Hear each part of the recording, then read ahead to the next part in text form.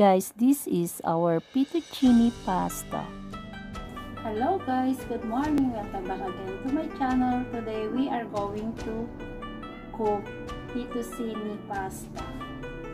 So guys, we're going to use one package of uh, fettuccine and this one is 375 grams. So fettuccine is flat pasta. These are the ingredients. So first we're going to boil water. So I prepare already our pot. So I turn on the stove. And now we're going to boil our ground beef. Next is we're going to boil our ground beef to remove the blood. So mostly of the people guys, uh, they will saute directly. But for me, I prepare to boil my ground beef before I'm going to soup. Okay guys, so I prepared already our water. So it's almost uh, boiling. And then the next one, we're going to boil our ground beef so that it will remove the blood.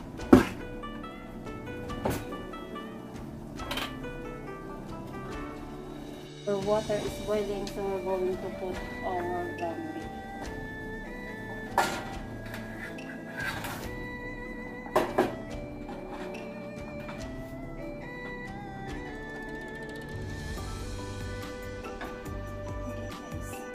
Hintayin natin lang na pakulo siya.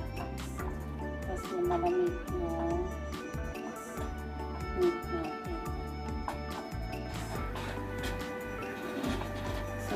going to drain the water and rinse with cold water. Okay, ito na po yung beef natin guys, yung ground beef natin. Okay, so it will remove the blood and some fats. So now we're going to start the cooking. So we're going to use olive oil. I use uh, 3 tablespoons of olive oil. So if you need more, so you can uh, add. So first, saute our cherry tomatoes.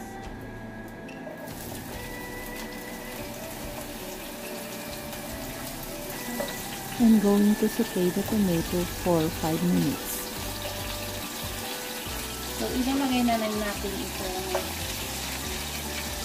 garlic natin.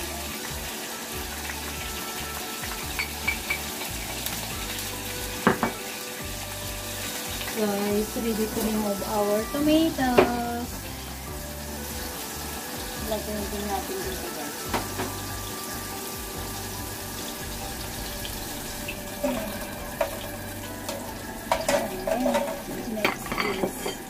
our onion. Oh! This is our chopped onion.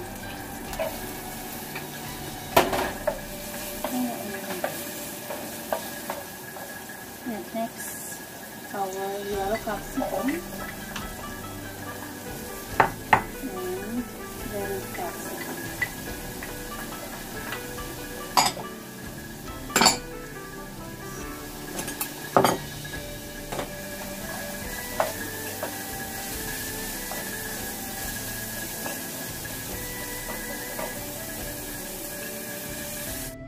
We're going to put our ground beef.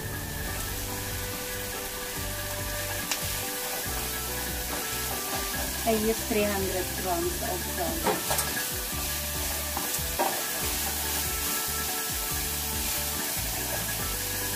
So our water is boiling. Ready to put our pasta. Ah.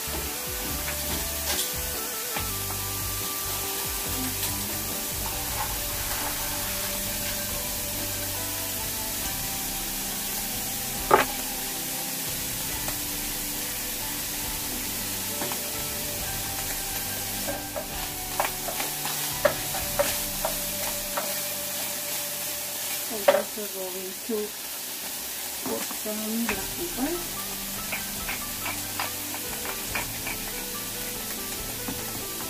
And salt.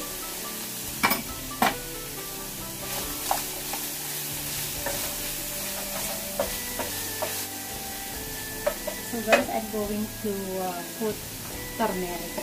But this one is optional. One teaspoon of turmeric.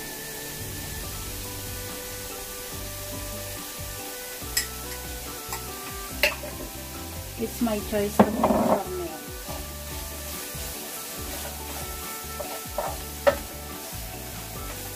I'm telling you guys, this is so good. And then we're gonna see our pasta.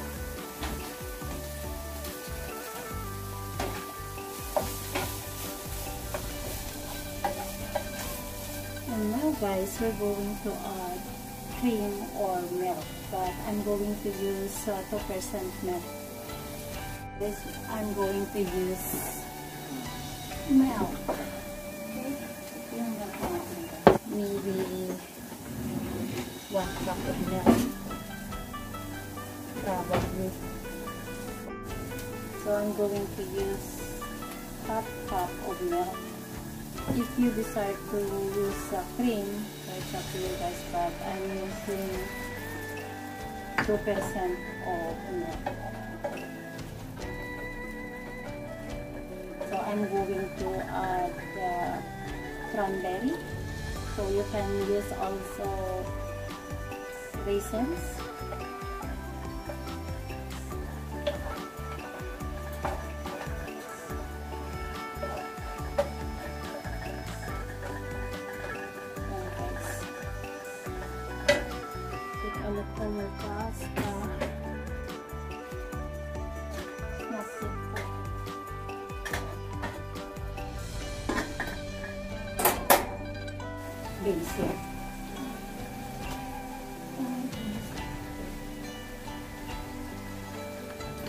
Guys, I'm putting basil.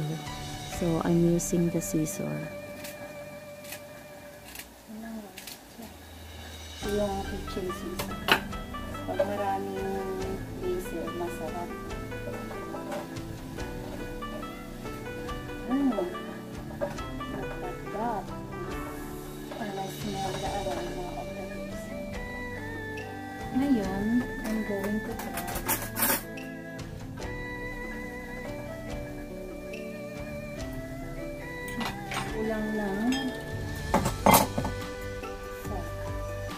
Lagyan natin ng beef powder. 20 I put 1 teaspoon of beef powder but this one is optional.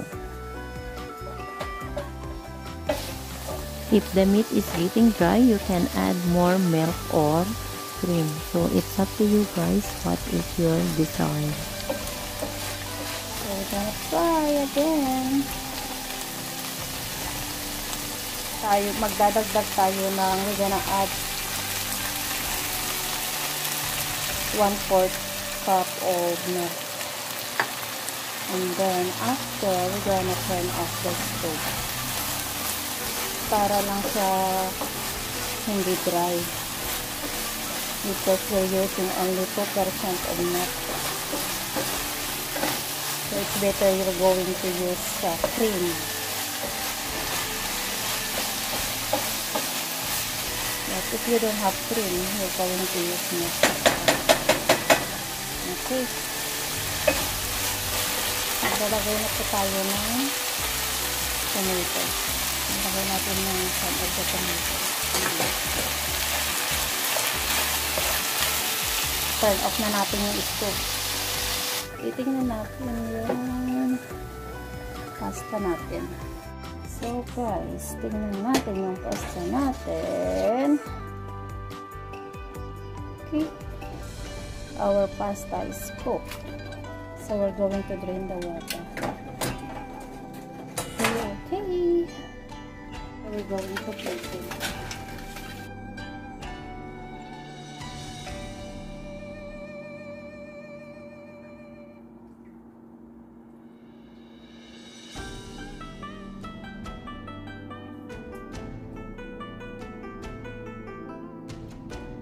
We're going to put our ingredients.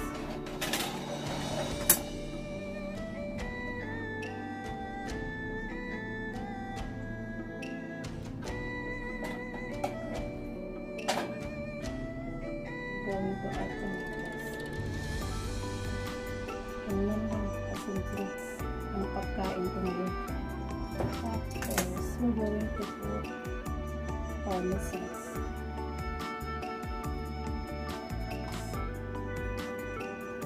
parang dami na ah. Very simple. At saka if you want guys you can put also olives. You need to open this.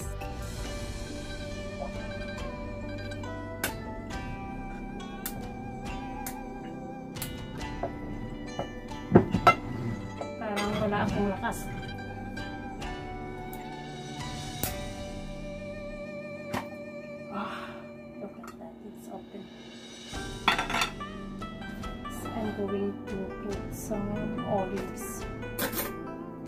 this one is optional. Uy kalaki. Look at the olives ang laki-laki itong olives guys. Look at that cool. Lagay natin yung olives sa gilid. You can use any kinds of olives.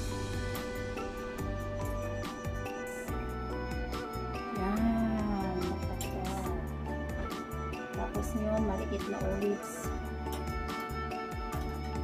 Ito i-mix olives. And then, maglagay tayo ng herbs. Yan. Ang pagkain ko ngayon.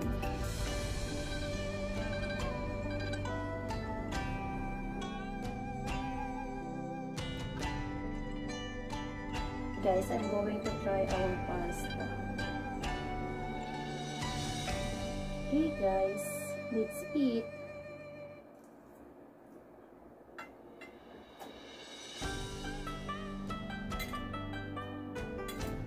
Delicious. So guys, masarap.